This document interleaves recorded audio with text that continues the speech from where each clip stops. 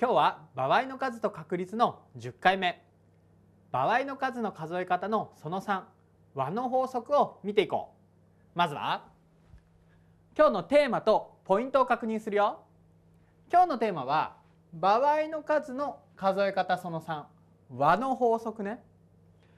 前回の授業では積の法則という場合の数の数え方を見てきたよ。A×b 通りで計算できるのが積の法則だったね。そして今回は和つまり足し算の法則。ということからちょっと想像つくと思う。いきなりポイントを確認すると同時に起こらない。これちょっと重要なんだけど同時に起こらない事象 AB で A が A 通り B が B 通りだとするとこの事象の合計の場合の数っていうのは前回が A×B 通りだったら今回は A プラス B 通りこの場合の数を足し算で計算できるこういうケースがあるんだ。で、まあ、このポイントだけ見るとね抽象的でよく分かりにくいと思う。でも実は言ってることそんな大したことないんだ。こっちの具体的な例を見てほしい。サイコロを1回投げる時5または6が出る場合の数これがね和の法則使えるんだよ。どういうことかというとサイコロ1回投げるわけだよね。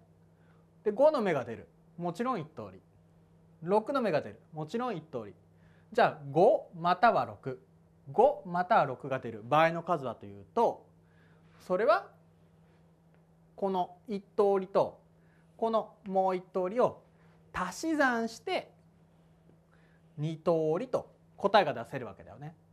このことをね一般的に言って A プラス B 通りと言ってるだけなの。うん、だから A プラス B 通りこれを利用して問題解いていくよ。じゃあ早速いこう。じゃあ例題一緒に見ていこう。大小2個のサイコロを同時に投げるとき出る目の和が6または7になる場合の数を求めよう。うん、という問題だね。今回は大小2個のサイコロ大きいものと小さいものサイコロがあってそれを同時に投げるわけ。サイコロは1から6まで。目があるから大に関しては1から6まである。そして小に関しても1から6まで目があってこの時に何を求めるのか。今日はここね。出る目の和つまり足し算。大のサイコロと小のサイコロ。目を足し算した時に6または7になる。こんな場合の数を求めたいんだ。うん、和が6そして和が7つまり足し算した時に7になる時この場合の数を求めたい。で一個一個だったらみんな想像できるかな。まず和が6和がの6になるっていうことは例えば大が1だった時に小は5だったら1たす5で足し算すると6になるよね。同じように2の時だったら43の時だったら3みたいな感じでどうやら数えることはできそうだ。そして和が7これもさっきと同じように1の時には6だったら1たす6で足し算72だったら2たす5で足し算7とこれも数え上げていけば場合の数できそうだ。ただ今回ここねまたは6または7と出るからちょっとややこしく聞こえるんだよね。でもね今日のポイントは思い返してほしい。和の法則ってあったよね。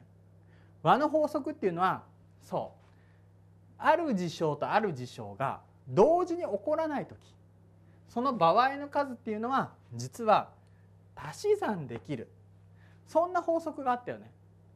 じゃあ和が6和が7同時に起こるか起こらないか考えてみるとこれは起こらないよね。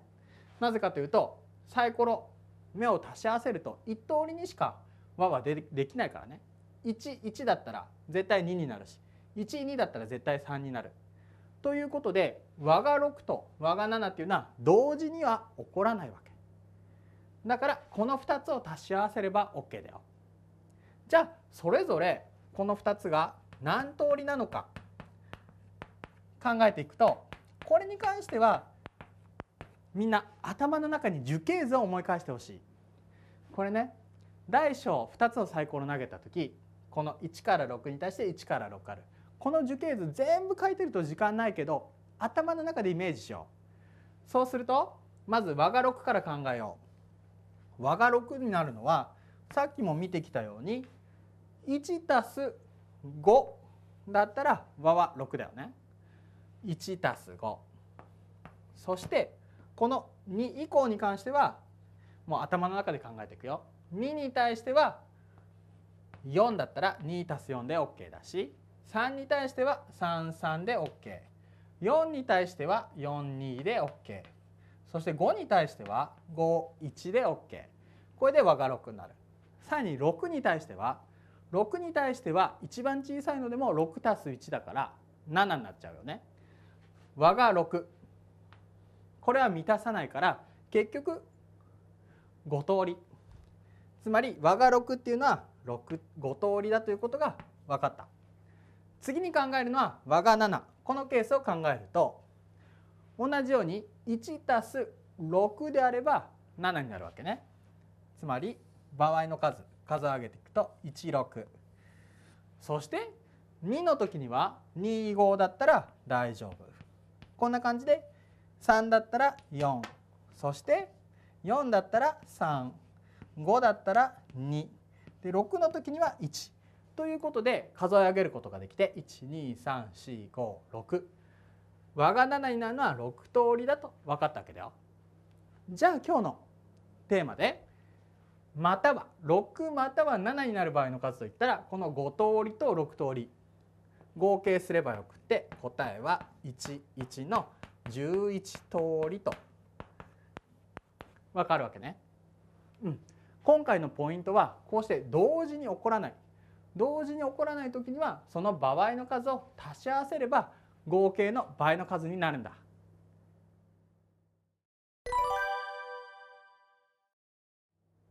じゃあ練習見ていくよ。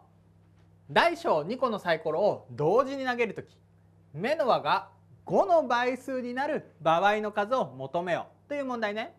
今回もまた大小2つのサイコロをパッと投げる。だから大について1から6まで目の出方。小も1から6まで目の出方があるわけ。で今回何を求めるかというとここね。目の和が5の倍数になる場合の数。5の倍数だって。みんなどんなのか想像できるかな。まず出る目の和と言ってるんだから足し算ということね。大の目と小の目足し算する。これは例題と同じ流れ。だって5の倍数と言われるとちょっと迷うよね。こんな時には具体的に書き出していこう。5の倍数っていうのは5あるよね。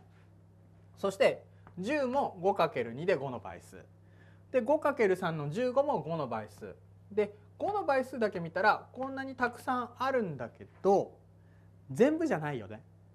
それは今回サイコロを投げていて出る目の和が5の倍数と言ってるんだから出る目の和の範囲で考えればいい。出る目の和っていうのは一番小さい時で 1+1 で2になる。一番大きい時でサイコロなんだから66で足して12になるわけ。というと5の倍数と言われても51015と続くうちもう15以上は考えなくていいわけね。最大で12までしかないわけだから。ということは今考えるのはこういうことになるよ。出る目の和が残ったこの5または10この場合の数を考えればいいわけ。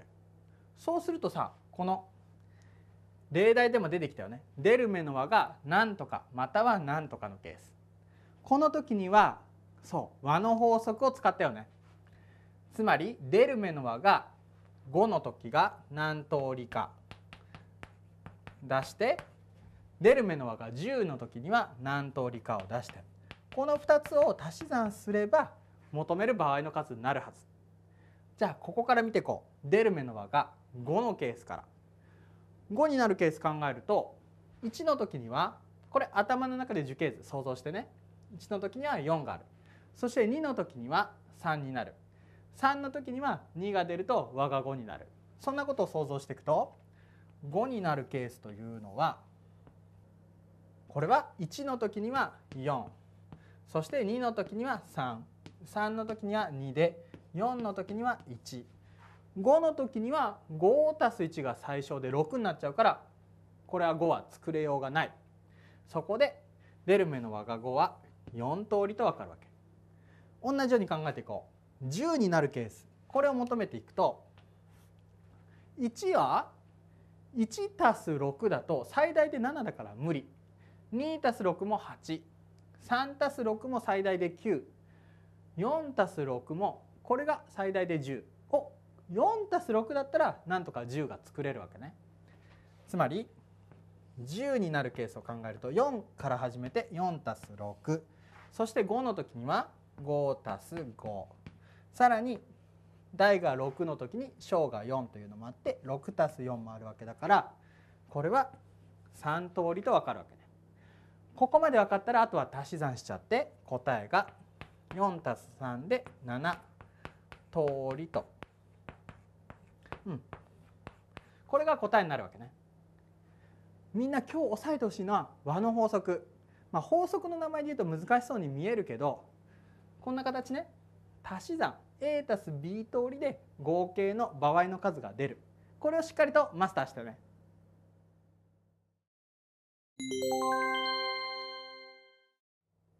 今回のポイントをおさらいしよう。場合の数の数え方その3和の法則足し算の法則ね。うん。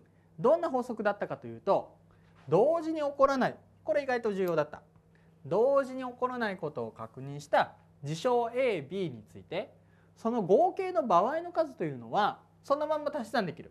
A プラス B 通りだった。そしてもう一個ここで補足をしよう。基本的にはこれ A プラス B 通りでいいんだけどここねダブりには注意。